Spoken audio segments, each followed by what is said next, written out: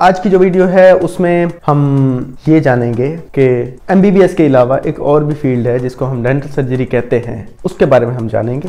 ये वीडियो खास तौर पे उन स्टूडेंट्स के लिए है, जो कि बाद में डॉक्टर बनने का सोच रहे हैं। अभी वो एफएससी कर रहे हैं और उन पेरेंट्स के लिए हैं, जो अपने बच्चों को डॉक्टर बनाना चाहते हैं। और इस वीडियो में मैं सिर्फ़ ये इन्फॉर्मेशन दूँगा, जो इन्फॉर्मेशन उस वक्त मुझे भी नहीं थी जब मैं डॉक्टर बनना चाह रहा और काफ़ी लोगों को इसका पता नहीं होता, मेरा भी जब एडमिशन हुआ था तो मुझे नहीं पता था। तो मेरे बड़े भाई हैं, उन्होंने बताया था कि भाई जो भी है, अभी ज्वाइन कर लो। तो बाद में देख लेना, अगर नहीं करना बीडीएस तो एंट्री टेस्ट दोबारा रिपीट कर लेना और एमबीबीएस में चले जाना। तो मैंने इस नियत से जो है ना ज्वाइन किया था बिकॉज़ मुझे पता ही नहीं था कि बीडीएस होती क्या। तो आज मैं इसलिए डिटेल में बताऊँगा, सबसे पहले BDS bachelor of dental surgery ये पाकिस्तान में एक डिग्री है।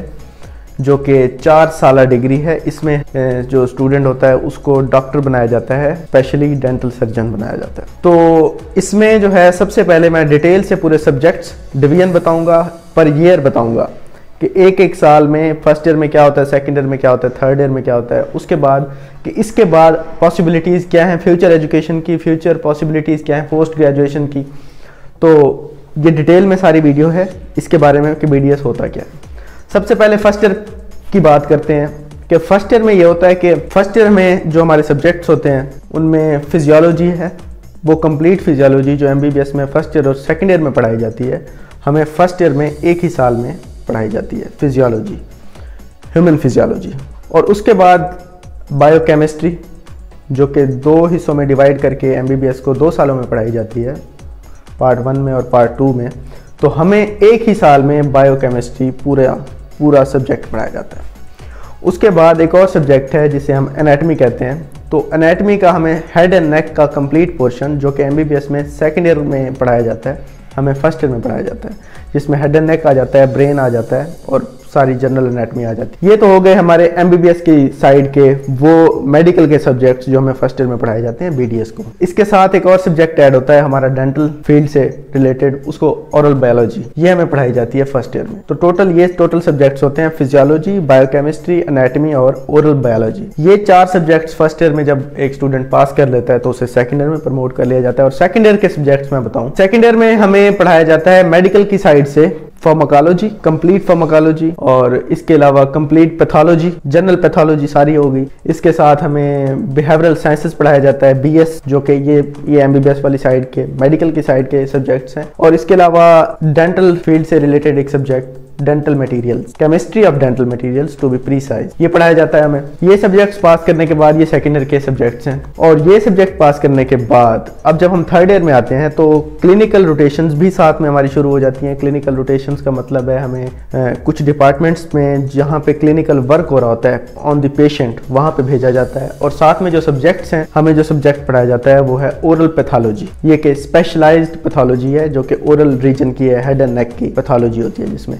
इसके अलावा हमें मेडिकल की साइड से जो सब्जेक्ट्स पढ़ाए जाते हैं, उनमें है जनरल मेडिसिन कंप्लीट मेडिसिन जो कि फाइनल ईयर एमबीबीएस में मेडिकल साइड पे पढ़ाई जाती है और हमें थर्ड ईयर में मेडिसिन पढ़ाई जाती है। उसके साथ जनरल सर्जरी कंप्लीट होती है थर्ड ईयर में, और जो हमें पढ़ाई जाती है, जो एमबीबीएस में फाइनल ईयर में होती है, हमें थर्ड ईयर में पढ़ाई जाती है जनरल सर्जरी कंप्लीट और इसके साथ ही वार्ड राउंड और वो सारा कुछ सारा कुछ साथ साथ चलता है। उसके साथ एक जो हमारा डेंटल फ़ील्ड का एक और सब्जेक्ट ऐड होता है, उसको हम कहते हैं पेरियोडोंटोलॉजी पेरियोडोंटोलॉजी होता है और ओरल पैथोलॉजी हो गए जनरल सर्जरी हो गई और जनरल मेडिसिन हो गई। ये सब्जेक्ट्स हमें थर्ड ईयर में पढ़ाए जाते हैं। और क्लिनिकल रोटेशन हमारी होती हैं सर्जरी डिपार्टमेंट में जहाँ हमें एक्सट्रैक्शन करने के बेसिक्स बताए जाते हैं और सिंपल एक्सट्रैक्शन दिखाई जाती हैं और कराई जाती हैं। उसके अलावा पेरियोडोंटोलॉजी में होती है, जहाँ पे हमें स्केलिंग जिसे हम कहते हैं दांतों की सफ़ाई, वो करना सिखाई जाती है और थोड़ा बहुत जो है वो फिलिंग कराना भी सिखाया जाता है। अब ये सारा कुछ हो गया थर्ड ईयर में, फिर ये सब्जेक्ट पास करने के बाद जब हम फाइनल ईयर में आते हैं फोर्थ ईयर हो गया और फाइनल ईयर हो गया हमारा,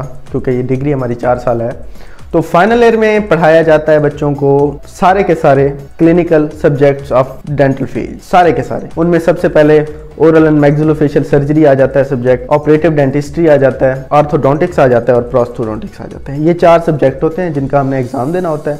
और साथ ही साथ अब हमारा जो फाइनल ईयर में हमारी जो रोटेशन होती हैं क्लिनिकल डिपार्टमेंट्स में होती हैं कंप्लीट वहाँ पे हमने सारा काम करना होता है रिलेटेड ये जो सब्जेक्ट्स हैं, मैं इनके बारे में थोड़ा सा बता दूँ। ओरल एंड मैग्जिलोफेशियल सर्जरी में हमें दांतों को निकालना या हेड एंड नेक के रिलेटेड जो भी सर्जरीज आती हैं, उन सब के बारे में बताया जाता है। ऑपरेटेड डेंटिस्ट्री में हमें रूट कैनाल ट्रीटमेंट के बारे में बताया जाता है और अस्थेटिक फीलिंग के बारे में सारा कुछ बताया जाता है। इसके अलावा जब हम जाते हैं प्रोस्थोडोंटिक्स में तो वहाँ पे हमें दांत लगाना, नए दांत लगाना है। इसके बारे में जितनी भी फ़ील्ड है, ये बताई जाती है और आर्थोडोंटिक्स में बताया जाता है कि दांतों को सीधा कैसे करते हैं, खासतौर पर जब टेढ़े मेढ़े या आगे पीछे दांत होते हैं तो उनको सीधा कैसे किया जाता है। ये सब्जेक्ट्स होते हैं फाइनल ईयर में। उसके बाद चार साल की डिग्री के बाद आपको एक साल की हाउस जॉब होती है। एक साल की हाउस जॉब में आपको ये बताया जाता है कि पूरा वो जो क्लिनिकल डिपार्टमेंट से वहाँ पे आपकी रोटेशन होती है और आपको एक दफ़ा हर डिपार्टमेंट में बहुत अच्छे से काम करने को और काम सीखने को मिल जाता है। और इस पाँच साल पाँच साल के बाद जब आप फ्री होके जाते हैं तो आपको एक डिग्री मिलती है और पीएमसी से लाइसेंस मिलता है कि अब आप बेसिक डेंटल प्रोसीजर जो है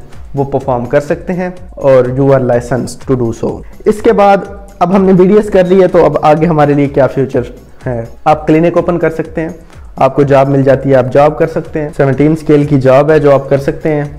As a dental surgeon government setup में या कहीं पे भी आपको जॉब करने का मौका मिलता है तो अगर आप, आप बात करें पोस्ट ग्रेजुएशन की स्पेशलाइजेशन की तो इसमें काफ़ी सारी डिग्रीज हैं पोस्ट ग्रेजुएशन की जो आप कर सकते हैं आगे जाके। पहले सबसे पहले एम है।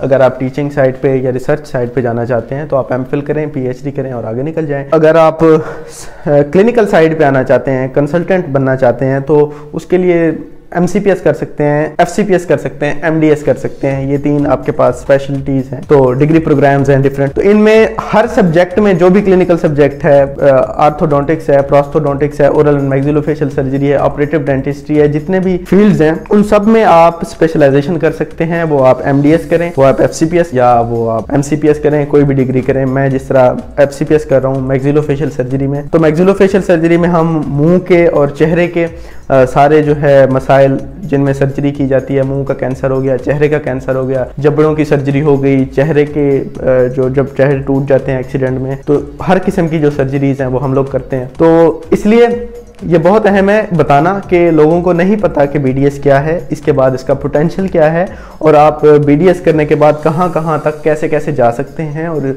कितनी बड़ा ये एक अपॉर्चुनिटी है कि लोगों को अवेयरनेस नहीं होती, इसके बारे में मुझे खुद नहीं थी।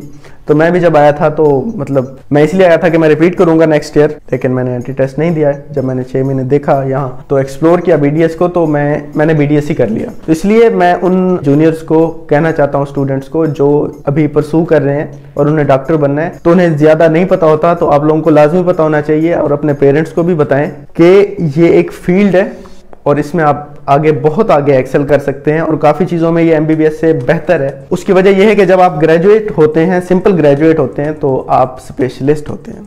आपको मजीद कंसल्टेंसी की ज़रूरत नहीं होती, आप कहीं पे भी क्लिनिक बना के बैठेंगे एज ए कंसल्टेंट होंगे और एज ए स्पेशलिस्ट डेंटिस्ट होंगे ना आप आप किसी जनरल प्रैक्टिशनर तो होंगे नहीं।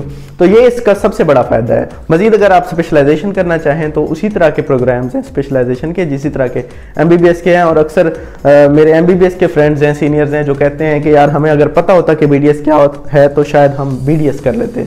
और एम भी ना करते। ये इतना मज़े का फ़ील्ड है। यही इन्फॉर्मेशन थी जो मेरे जहन में थी तो मैंने आपको दे दी। अगर आपके जहन में कोई और क्वेश्चन है, कुछ और पूछना चाहते हैं तो आप कमेंट सेक्शन में पूछ सकते हैं। अल्लाह हाफिज़। Thank you